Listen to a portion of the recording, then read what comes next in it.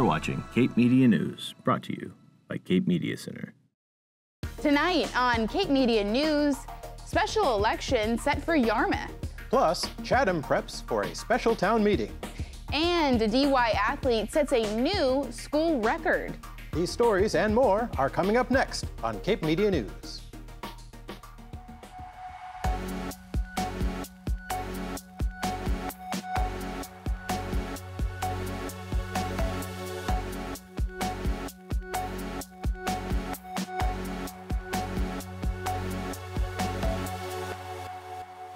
Good evening and welcome to Cape Media News, your source for hyperlocal news that matters. I'm Lauren Williamson. And I'm Jamie Horton. On Tuesday, Yarmouth's Select Board met for the first full meeting since the passing of Chair Michael Stone. On the agenda was scheduling a special election to fill the vacancy left on the Select Board. One resident suggested having the election coincide with the November general election to save the town money, but the town clerk, Mary Maslowski, explained why that wouldn't be the best option. I know there has been a lot of discussion about November 5th being a wonderful day to, to try and do a dual election.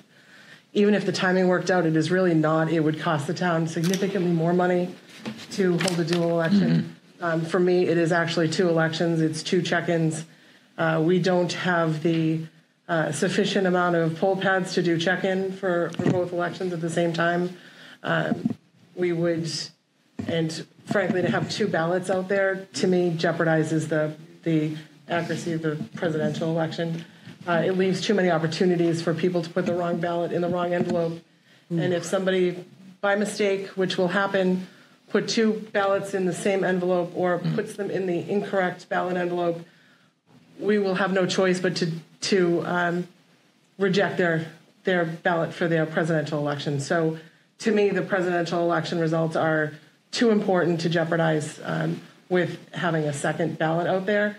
So that is the primary reason that I've uh, requested that you, mm-hmm. when you vote to set your election date, that you also vote to waive vote by mail for the uh, for the special election only. I understand that people even for Saturday, even for a Saturday, because that second ballot would be potentially would be out there when the general election ballot is still out there. Uh, those general election ballots. I see. Would be November 5th, so we'd, we'd be mailing them right, about, right at about the same time. So it would still be a tough, a tough call. I make a motion that we call a special election to fill the vacancy of the board 7th. for December 7th mm-hmm. and to waive the mail in voting. Is that good? That's good. Okay, I'll second that. All those in favor? Aye. Aye. Thank you, Mary. Thank you very much. Thank you, Mary. The operator of the vehicle that struck a boat trailer on August 30th, leaving a teen dead and others seriously injured, has been charged criminally. Following an investigation by Yarmouth police detectives, Peter Richmond, 81 of Yarmouthport, is charged with vehicular homicide by negligent operation. The teen who lost his life in the crash has been identified as 14 year old John Hewen of Norwell. September is Suicide Prevention Awareness Month. Earlier this week, Barnstable County Human Services decorated the inner courtyard at Cape Cod Community College with ribbons of remembrance for those who have died by suicide. This month, educate yourself and others about suicide prevention. Learn the warning signs and risk factors how to support someone who is suicidal, and familiarize yourself with the 988 Suicide and Crisis Lifeline. All of this information and more can be found on the Substance Abuse and Mental Health Services website at samhsa.org. September is also National Recovery Month. On September 22nd, join groups like Recovery Without Walls, Well Strong, One Shared Spirit, and more for a free screening of the award-winning documentary Recovery City. Doors will open at 3:30 and be sure to stick around afterward for a Q&A with the film's director, Lisa Oliveri. Or join the Barnstable County Sheriff's Office on September 25th to hear former NBA star Chris Herren's story about his addiction and recovery. Chris has been in recovery since 2008 and hopes to inspire education about the disease of addiction. This free event is appropriate for middle schoolers and up and will be held at the Barnstable Performing Arts Center. The Family Resource Centers of Cape Cod have new free wellness groups available this month. For teens aged 13 to 17, the Healing Justice Group is a safe space to come together, connect, and support each other. The group will focus on healing trauma, moving, breathing, and developing life skills to become healthier and more engaged in their community. The Family Movement Group for parents and their kids ages 4 through 12 will take place every week on Wednesdays. This group focuses on connection through movement like yoga. Pre-registration is required for both groups at capecodfamilyresourcecenter.org. Over the past few weeks, the Chatham Police Department has been implementing body-worn camera and cruiser-mounted camera systems. Every Chatham police officer has been assigned their own body cam, and every cruiser now has a forward-facing camera and an internal camera recording the back seat. Chatham Police Department stated that, quote, the department recognized the value of BWCs and CMSs for their ability to improve transparency and accountability, to improve the documentation and collection of evidence, to improve interactions between officer and the public, and for training purposes. Chatham Police Department joined the lengthy list of departments that are already using body and cruiser cams, including Yarmouth, Barnstable, Provincetown, and Wellfleet police departments.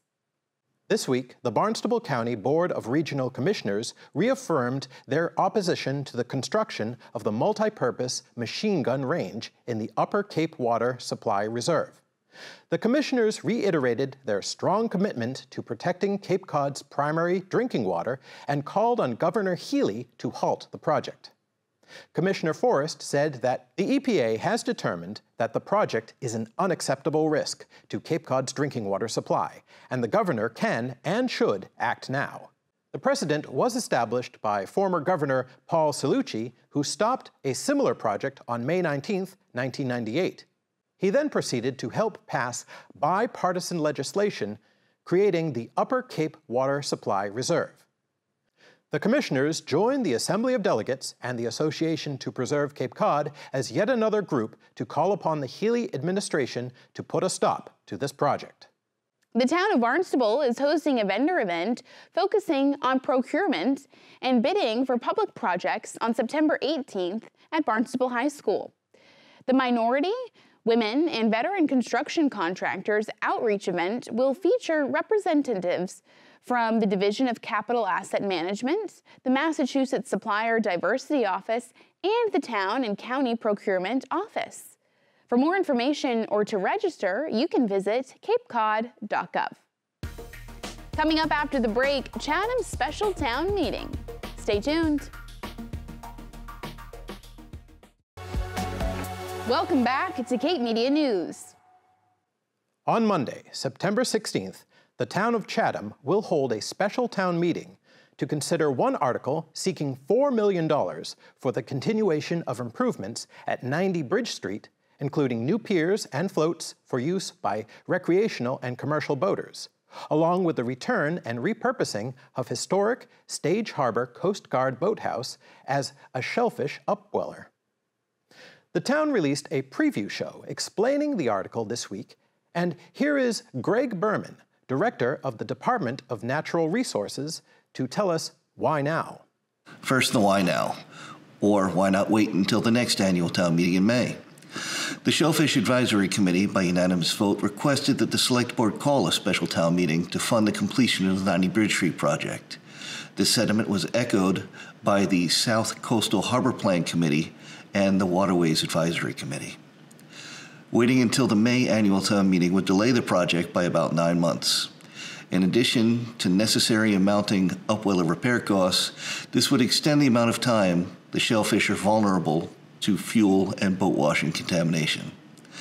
Also, the project engineers estimated that this nine month delay would result in about a 3% cost escalation, or about $160,000. There will be a new building code as of July 1st. but the state has not provided exactly what will be in the code. We've already received several variances for this project, but the new building code may require design changes and perhaps additional variances, which would result in further delay and increased costs. Starting work before January 1st would allow us to stay under the existing code, but what's left in the 2017 bond can't cover the next phase. The Select Board and Finance Committee both recommend passage of the article. The town of Barnstable's parking division would like to remind residents that parking compliances at specific beaches will remain in effect through Columbus Day. This applies to Millway Beach, Ropes Beach, and town water that include Lake Wequaquet, Forts Beach, Oregon Beach, Wianno Avenue, Seaview Ave, Riley's Beach, Long Beach, and the Cotuit Town Dock. All other beaches will be open to all residents and visitors. The U.S. National Weather Service issued a warning last week about high surfs and rip currents. Hurricane season is well underway, and while temperatures are cooling, the water is still warm enough to swim. Weather can be unpredictable this time of year, so stay up to date about high surfs and rip currents as strong currents and undertows cause 46 deaths annually. Visit weather.gov forward slash Boston for local warnings. The Hyannis Artist Shanties have begun their fall hours. From now until September 30th, the shanties will be open Thursday through Monday from 11 a.m. until 6 p.m. For the month of October, they will be open Friday through Sunday from 11 a.m. until 4 p.m. However, artists often come in early and stay late beyond the set hours and make sure to come back regularly as artists and vendors change weekly. The Harwich Fire Association is excited to announce that they are hosting the Bruins alumni in a fiery face-off against the local heroes of the Harwich Firefighters hockey team. Puck drop is at 1.30 on September 22nd at the Charles Moore Arena. Don't miss the Chuck a Puck contest, a 50-50 raffle, and photo and autograph opportunities. Proceeds will benefit the Harwich Fire Association and the Cape Cod Firefighters Cancer Relief Fund. The Harwich Council on Aging has a new set of monthly programs. Fridays in September, join the craft workshop in building a mini scarecrow to display in your guard, planter, or window box. Stick around for the October craft to make a festive fall fabric wreath. Or if you have more of a musical disposition, join Kathy Hatch for Introduction to Ukulele. If you're looking for a more supportive program, the HCOA offers a dementia caregiver support group with a concurrent companion group on Wednesdays from 2 to 3 p.m. To view all of this month's programs and to register, you can visit harwich-ma.gov forward slash 224. Also in Harwich next month, the Elder Services of Cape Cod and Barnstable County Cooperative Extension is offering a healthy eating workshop. Starting October 2nd, this free program is for older adults who want to learn more about nutrition, physical activity, and lifestyle changes for better heart and bone health. All six sessions will meet at the Harwich Community Center from 9 to 11:30 a.m. To celebrate 95 years of aviation, the Cape Cod Airfield will be open to the public tomorrow, the 14th, for their Wings and Wheels anniversary event. From 10 to 3, you can bring the whole family to enjoy aircraft, antique car shows, biplane rides, skydiving, remote control plane demonstrations, food trucks, and even more. Looking for more to do this weekend? Check out the annual Harwich Cranberry Arts and Music Festival. Saturday and Sunday, head to the Harwich Community Center for food trucks, over 150 crafters, nonprofit community tables, kids activities, and Cran Jam live music. Festival organizers would like to note that there will be no beach event or fireworks this year, but still plenty of fun for the whole family to enjoy. And now, here's Ryan Downs with a look at this week in high school sports action. Welcome back to the Cape Media News Sports segment. I'm your host and local sports guy, Ryan Downs. It's week two in the fall sports season, and we went to another couple of games this week. So let's get right into the weekly recap.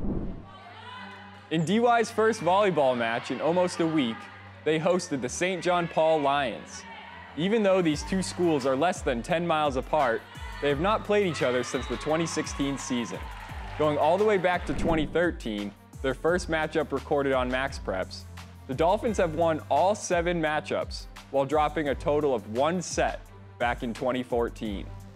Despite all that, last year, the Lions finished with a record of 15 and 7 before their season ended in the Division 5 quarterfinal to Mount Greylock, the eventual state champs.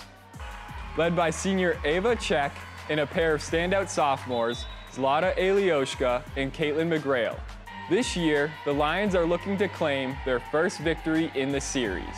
But that won't come so easy when you have to face a team with similar experience. The Dolphins, led by Mariah Eaton and Vivian Castano, were ready to defend their home court. Castano entered the game only 27 assists away from the school record. As the game got underway, DY played like they had something to prove and took the lead early on and never looked back. They finished the first set with a score of 25 to 12. As things were looking bleak for the Lions, they rallied in the second set to take a big lead at 9 to 5, forcing DY to call a timeout and make an adjustment. And, well, the adjustment worked because DY exploded, allowing St. John Paul to score just one more point the entire set, claiming the second set 25 to 10 largely in part to senior libero Ireland Shank's contributions.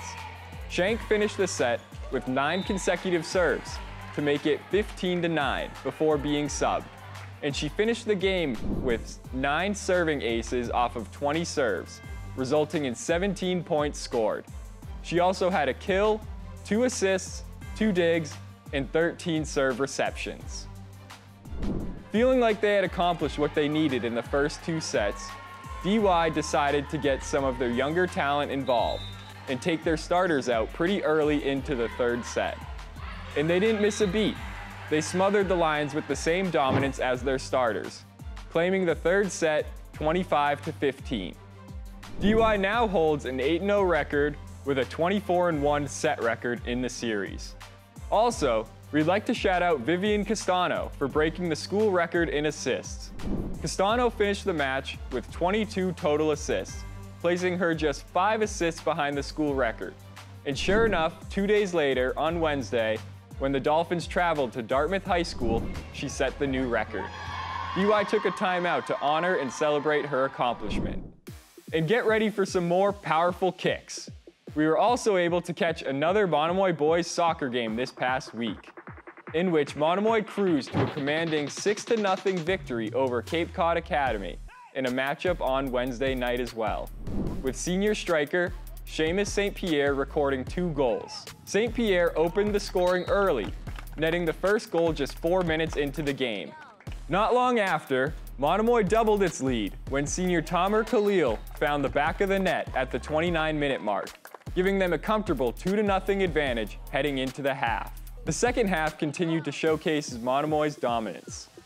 Just two minutes into the half, eighth grader Nick Haddon extended the lead to 3 to nothing with the well-placed shot in his first career varsity goal. St. Pierre struck again with his second goal of the match at the 55-minute mark, sealing Monomoy's control over the game. And Monomoy's relentless offense kept Cape Cod Academy backed up on their half of the field the entire match, leading to a 6 0 victory. With this victory, Monomoy continues its strong start to a season with a 3-0 record, and they look to push it to 4-0 tonight when they take on Nauset at 6 p.m. under the lights on their own field. And that's it for this week's sports update. Back to you, Lauren and Jamie. Thanks, Ryan. Have you ever wondered what us news anchors are talking about during the credits? I know I have. We'll be taking a break next week, so as a special treat, here are a few clips of us chatting after the show. I'm Jamie Horton. And I'm Mitch Stock. And so yeah, we talk, and I don't. I wish I could grow a beard. Yeah, But it's it's it's just- a, it's a thing, you know. I mean, you do have a pretty thick mustache. It's prominent, right? But like nothing I don't know if this, yeah, I I don't know if this really looks like we're talking about facial hair with our hands because I'm not looking at the camera. I mean, but it's, it uh, probably does. Um, For people that can read lips, I mean, this is gonna be hysterical. hysterical. Yeah, they're, they're gonna have a hard time with that one. Going to the library instead of the beach tomorrow? I mean, I wish I could. I have to work, but you know, That was a good show. Oh, good job. That's great. Here's how they massacred the. Uh, I'm I'm Horton. Hort. I'm Jamie Horton. That was good, guys. da, da, da, da. oh wow. What a time! What a time to be alive. Oh my goodness. Spooky season. It's just just there's there's so much. just so much. I mean, we're peppering spooky soup, and putting all kinds of stuff in the spooky soup. What would you What would you put in your witch's brew? Oh my goodness. Um, well, obviously, um, baby fingers Oh, yeah. Um, For real babies. from actual babies. I'm that evil. And then we're talking, and we're talking, and I'm gonna look over there, and I'm not. I'm gonna pretend like I, I did this, and, and I really wanted to do it, but, and then the urge is there, Yeah, but you it's there. It's really it. there. And then yeah. All right. Good show. Yeah, that was a good show. Can like, all this news just happening? It's just we're It's covered in news. We We're- are, it's literally just We're drenched. splattered, Yeah. splattered with news. It's gonna be hard to get out. Moist with news. It's gonna Yeah, be hard- moist with It's gonna be hard to dry out all the news. I think it's going to leave a stain. We're gonna need a lot of towels. And we talk and we talk, and I'm gonna try not to look as angry this week as I did in previous weeks because it looked like I was oh, yelling at somebody. So, but done. yeah, I think I think we did That good really over good there. Yeah, yeah, yeah, yeah. And all right. Thank you for joining us this evening. If you have a story that you would like to see covered, send us an email at newstip at capemedia.org. Tune in every week for more hyperlocal news that matters on Channel 26, Apple TV, Roku, and Fire TV. Be sure to follow us on all of our social media, including Facebook, YouTube, and TikTok. For Cape Media News, I'm Lauren Williamson. And I'm Jamie Horton. Another conversation. Another conversation. Do you think this will make the B-roll? I hope. Yeah, I'm thinking for 2025, maybe. I never know. I really liked Maxie though. She's better at this. Uh, She set the bar too high. she did.